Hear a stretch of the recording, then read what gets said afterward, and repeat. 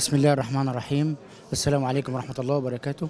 بالنسبة لمعهد المحاماة بيعتبر حاجة مهمة جدا بالنسبة لمحامين الشباب وبيستفيدوا منه استفادة كبيرة جدا لأن الشاب المحامي الشاب لسه المبتدئ لسه ما بيعرفش حاجة ما يعرفش حاجة عن المحاماة ما يعرفش حاجة على على نظام المحاماة. أما معهد المحاماة فهو معهد للمحاكاة.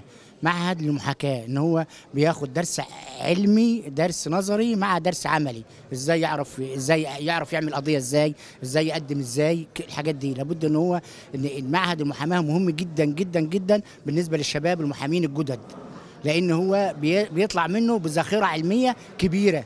ويقدر إزاي إزاي يقدر- يقف قدام القاضي إزاي يقدر يقف إزاي إزاي بي- بيحسسه إزاي يقدر يقوم يقوم يبقى محامي محامي ممارس لمهنة المحاماة. إحنا النهارده كحركة شباب بلا قيود بنرحب بالنقيب العام الأستاذ سامح عاشور في في نقابته الثانية في المحلة. وبنعلي عليه اماني الشباب في المهنة في إنه يرتقي بالمهنة لمستوى أفضل.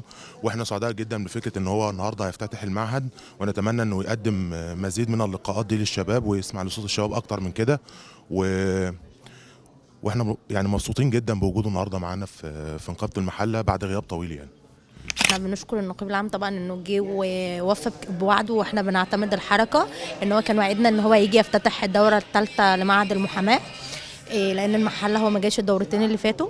وطبعا بنشكر تدخلاته الفورية في ما تواصلنا معاه في أزمة أستاذ أحمد رمزي والمعارض. وطبعا هو مجي وهنا استفادة كبيرة جدا لشباب المحامين.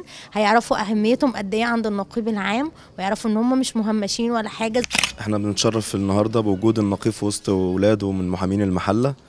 آه، طبعا زيارة غالية من النقيب وتواصل إحنا مشكور من سيادة النقيب.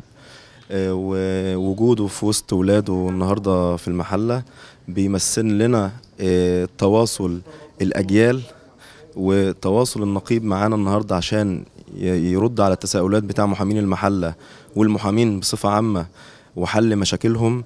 ده في حد ذاته حاجة مهمة جدا آه، بنشكر سيادة النقيب عليها. وإن شاء الله النهارده سيادة النقيب يقدر آه، طبعا يجاوب على كل الأسئلة وخاصة إن آخر مرحلة كان في المحلة فيها أحداث كتير خاصة بالمحامين من ضمنها مشكلة الأستاذ أحمد رمزي الشهيرة اللي أخذت رأي عام طبعا بجهود السيد النقيب وتواصله مع ال- القيادات العامة وتوصلنا لحل ال- للمشكله وما زلنا بتوجيهات سيادة النقيب. إحنا مكملين وإن شاء الله النهارده يكون مؤتمر مشرف وبنتشرف بكل الضيوف وبسياده النقيب النهارده عندنا في المحلة. في البداية إحنا سعداء جدا بتشريف سيادة النقيب للمحلة الكبرى. إحنا كنا منتظرين وطالبين الطلب ده وبنشكر سيادة النقيب على تلبية طلب الشباب وسماع مقترحاتهم وحلول مشاكلهم كلها.